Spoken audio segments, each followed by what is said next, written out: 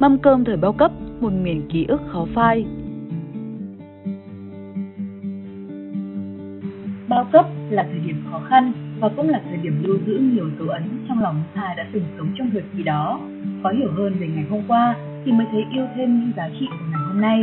Một mâm cơm thời bao cấp, với bánh bo bo, gạo màu dịch, chạch chấu ông chám, tem phiếu là những hoài niệm về một thời bao cấp chưa. Thời bao cấp đã đi qua khá lâu, nhưng những hình ảnh về con người, những quyển sổ lương thực, tờ tem phiếu đến hình ảnh dòng người xếp hàng chờ mua thực phẩm đều làm sống lại một thời không dễ quên. Đối với thế hệ sinh sau năm 1986, thật khó có thể hình dung một thời bao cấp mà cha anh đã trải qua. Những ấn tượng về cuộc sống ngày ấy khiến nhiều người vẫn ước gì có thể quay ngược trở lại thời gian để chứng kiến câu chuyện chỉ có ở một thời. Mâm cơm thời bao cấp cũng có vị ngon riêng của một thời gian khó. Nếu được sống trong không gian tái hiện lại thời kỳ đó, mỗi món ăn được thưởng thức sẽ là một trải nghiệm thú vị và khó quên. Đến cửa hàng ăn uống mậu dịch thời bao cấp, bắt buộc phải mua tem phiếu. Mỗi chiếc tem tương ứng với một món ăn. Trên mỗi tấm tem phiếu đều có những ký hiệu riêng như khác biệt về màu sắc, chữ cái đánh dấu để phân biệt giữa đồ ăn và đồ uống. Tem phiếu làm mất, không được cấp lại, nhưng mỗi gia đình đều coi tấm tem phiếu như báu vật trong nhà. Có lẽ câu nói buồn như mất sổ gạo cũng bắt nguồn từ thời kỳ này. Những món ăn thời bao cấp sẽ khiến không ít con tim bồi hồi khi được thưởng thức lại. Này là dưa xào tóp mỡ với vị chua ngậy ngậy, là canh rau tập tàng với đủ vị thành mát nơi thôn quê, là niêu cá chép kho tương vị mặn mà đưa cơm, này là đôi ba lát đậu nhúng hành, thơm thoang thoảng, rồi lát cà, gợi nhớ những câu ca dao xưa, nhớ làm sao, thân thuộc làm sao mỗi món ăn gửi xa lắm. Nguyên lý chế biến thức ăn từ bao cấp là tận dụng mọi thực phẩm dân dã có được, thêm những gia vị quân vườn nhà, qua bàn tay tài tình và yêu thương của mẹ, của chị trở thành những món ăn đầy sáng tạo như cá thầu nấu nấu dưa, bì trâu xào rau muống.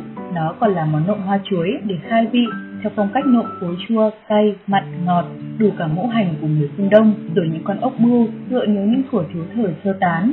À đã lặn lội xuống ruộng sâu, nấu cho mấy đứa em có bữa chiều cải thiện, này thì dưới bàn tay khéo léo và cách chế biến cầu kỳ của đầu bếp bằng những gia vị, dán cho dậy mùi, rồi cuộn lại trong giấy bạc. Dán một lần nữa, chúng đã trở thành món chả ốc độc đáo và ngon miệng. Nhẩn nha một miếng chả ốc để thấy cái vị đắng đắng, giòn ngọt của ruột ốc, hòa với bao hương vị cây trái quê nhà.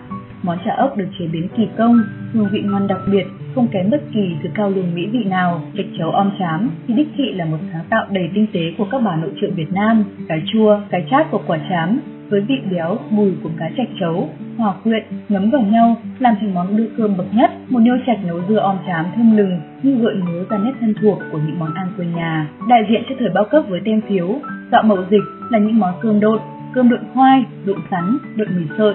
Có những ai đã từng ăn món này mà không nhớ mãi.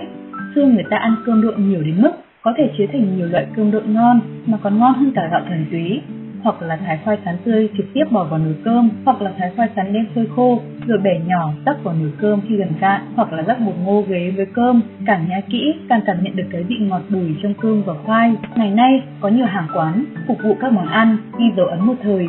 Điều đó cho ta thấy nét xưa còn ghi dấu mãi.